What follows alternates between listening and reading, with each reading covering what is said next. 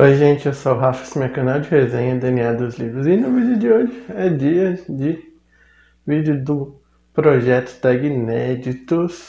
Aqui tá a caixinha que veio no mês de abril. Vou mostrar para vocês o que, que veio, né? Como brinde veio uma coisa muito inusitada. Veio um pacote de tempero, é um sal temperado, né? Também veio junto uma receita, né, para você usar o sal que eles mandaram. Vem a revistinha, né, contando um pouco sobre o livro, a autora, coisas sobre a história do livro. E o mais importante, o livro dentro dessa cover aqui. E o livro do mês é Criaturas Extraordinariamente Brilhantes, da autora Shelby Van. Aqui nós vamos conhecer a amizade de dois personagens, a Tova e o Marcelos. O Marcelos é um polvo gigante do Pacífico que vive ali num aquário, na, num aquário em Seattle. E a Tova é a faxineira noturna do lugar. E é o que a gente vai acompanhar aqui durante todo o livro, como essa amizade se desenvolveu e tudo o que ela é capaz de fazer.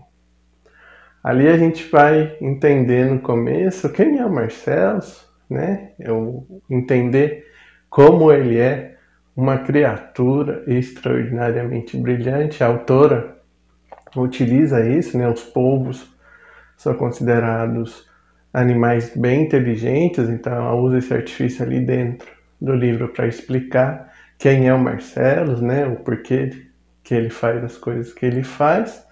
E a gente vai também conhecer a Tova e o drama que ela vive, né? Ela é viúva, o filho dela desapareceu num acidente no mar há pouco tempo também. Então a gente vai entender como ela lida com tudo isso e começar a acompanhar né, a aproximação né, desses dois personagens, né, como eles vão né, se relacionando ali, o Marcelo como inteligente que é, ele entende o que as pessoas falam, ele entende o que as pessoas passam sentimentalmente, a Tava vai contando para ele um pouco da vida dela também.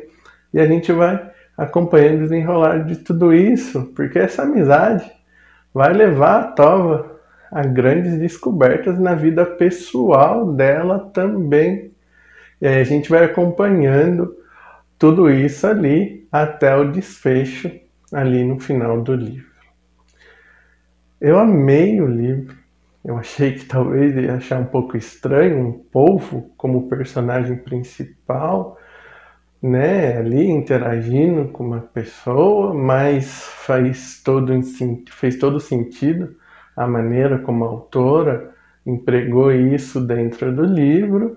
E a Tova é um personagem assim simplesmente carismático, cativante. Eu torci por ela o livro inteiro, né, para que ela conseguisse ali superar esse luto que ela tem por conta das perdas que a vida dela sofresse alguma reviravolta ali de uma maneira bem positiva. Né? Essa reviravolta vem, e apesar de ser algo bem, bem previsível dentro ali da história, eu fiquei torcendo para que se confirmasse essa previsibilidade. E se confirmou, então acabou virando uma história pessoal ali da Tova muito bem escrita também, muito bem montada. E o final do livro é muito, muito tocante. Eu confesso, sem vergonha alguma, que eu terminei o livro em prantos, né, com todo o desfecho da história. O livro realmente me tocou de uma maneira totalmente inesperada.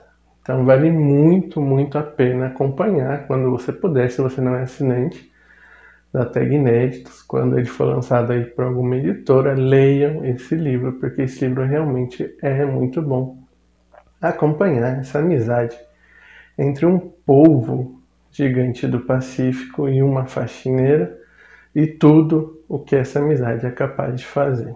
Então, leiam quando puderem. Dito isso, muito obrigado por estar aqui, deixar seu like, seu comentário. Se aqui pela primeira vez, se inscreve, ativa o sininho, tudo isso me ajuda bastante. Muito obrigado. Tchau.